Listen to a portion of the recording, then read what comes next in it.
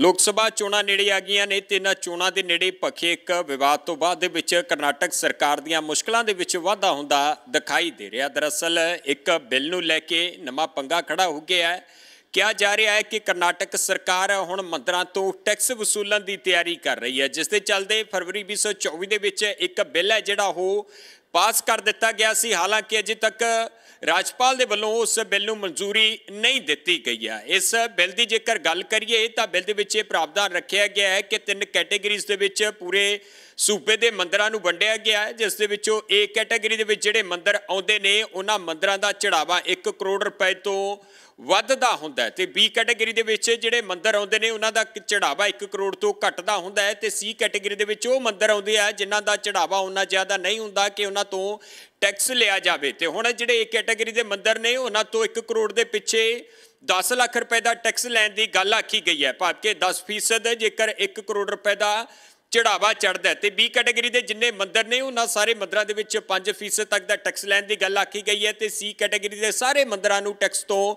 ਮੁਕਤ ਰੱਖਿਆ ਗਿਆ ਹੈ। ਤੇ ਕਰਨਾਟਕ ਸਰਕਾਰ ਦਾ ਇਹ ਫੈਸਲਾ ਜਦੋਂ ਜਨਤਕ ਹੁੰਦਾ ਹੈ ਤਾਂ ਲਗਾਤਾਰ ਵਿਵਾਦ ਨੇ ਜਿਹੜੇ ਉਹ ਵੱਧ ਜਾਂਦੇ ਆ ਤਾਂ ਇਸ ਦੇ ਚੱਲਦੇ ਹੁਣ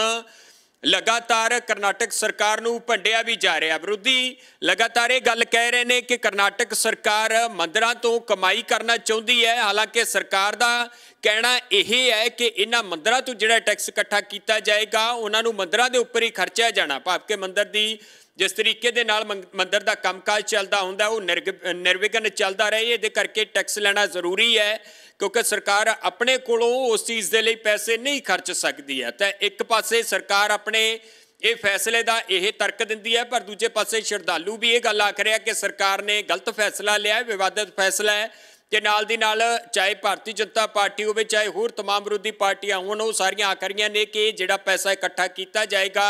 ਇਹਨੂੰ ਮੁੜ ਤੋਂ ਮੰਦਰਾਂ ਦੇ ਉੱਤੇ ਨਹੀਂ ਖਰਚਿਆ ਜਾਣਾ ਕਰਨਾਟਕ ਸਰਕਾਰ ਦੇ ਵੱਲੋਂ ਕਰਨਾਟਕ ਸਰਕਾਰ ਆਪਣੇ ਫਾਇਦੇ ਦੇ ਲਈ ਜਾਂ ਫਿਰ ਹੋਰ ਸਥਾਨਕ ਧਾਰਮਿਕ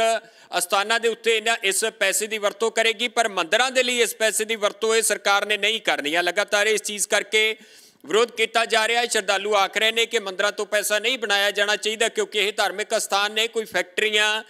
ਨਹੀਂ ਨੇ। ਤੇ ਦੂਜੇ ਪਾਸੇ ਕਰਨਾਟਕ ਸਰਕਾਰ ਨੇ ਆਖਿਆ ਕਿ ਅਸੀਂ ਸਹੀ ਢੰਗ ਦੇ ਨਾਲ ਕੱਲੇ-ਕੱਲੇ ਪੈਸੇ ਦੀ ਵਰਤੋਂ ਕਰਾਂਗੇ, ਜਿਸ ਦੇ ਬਾਬਤ ਪੂਰੀ ਜਾਣਕਾਰੀ ਵੀ ਲੋਕਾਂ ਦੇ ਨਾਲ ਸਾਂਝੀ ਹੈ, ਜਿਹੜੀ ਉਹ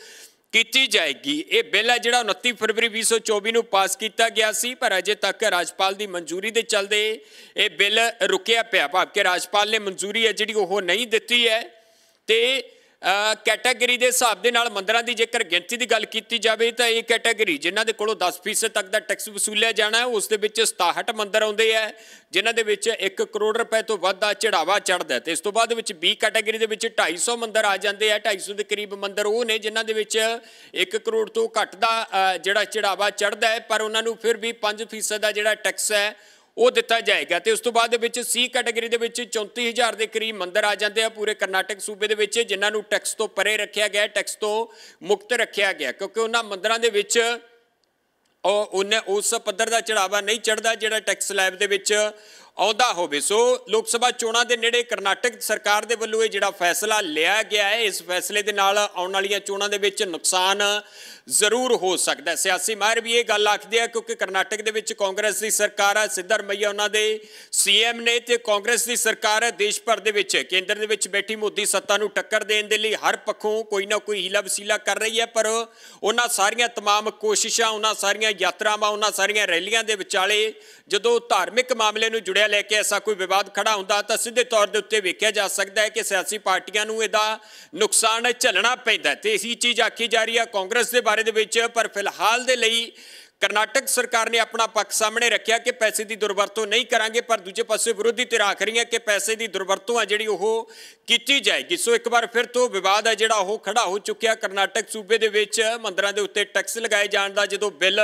ਲੋਕਾਂ ਦੇ ਸਾਹਮਣੇ ਆਉਂਦਾ ਹੈ, ਤਾਂ ਲੋਕਾਂ ਦੇ ਵੱਲੋਂ, ਉਹਨਾਂ ਲੋਕਾਂ ਦੇ ਵੱਲੋਂ ਜਿਹੜੇ ਇਹਨਾਂ ਮੰਦਰਾਂ ਦੇ ਵਿੱਚ ਆਸਥਾ ਰੱਖਦੇ ਨੇ, ਉਹਨਾਂ ਦੇ ਵੱਲੋਂ ਕਰਨਾਟਕ ਸਰਕਾਰ ਦੇ ਇਸ ਫੈਸਲੇ ਦਾ ਵਿਰੋਧ ਕੀਤਾ ਜਾ ਰਿਹਾ। ਹਾਲਾਂਕਿ ਫਿਲਹਾਲ ਦੇ ਲਈ ਇਹ ਇਹ ਜਿਹੜਾ ਬਿੱਲ ਹੈ, ਇਹ ਰਾਜਪਾਲ ਦੇ ਕੋਲੇ ਮਨਜ਼ੂਰੀ ਦੇ ਲਈ ਗਿਆ ਹੋਇਆ, ਪਰ ਅਜੇ ਤੱਕ ਉਹਨਾਂ ਨੇ ਸਾਈਨ ਨਹੀਂ ਕੀਤੇ ਨੇ। ਤੇ ਹੁਣ ਆਉਣ ਵਾਲੇ ਸਮੇਂ ਦੇ ਵਿੱਚ ਵੇਖਣਾ ਬਣਦਾ ਹੈ ਕਿ ਕੀ ਰਾਜਪਾਲ ਦੇ ਵੱਲੋਂ ਇਸ ਮਿਲ ਨੂੰ ਮਨਜ਼ੂਰੀ ਦਿੱਤੀ ਜਾਂਦੀ ਹੈ ਜਾਂ ਫਿਰ ਨਹੀਂ।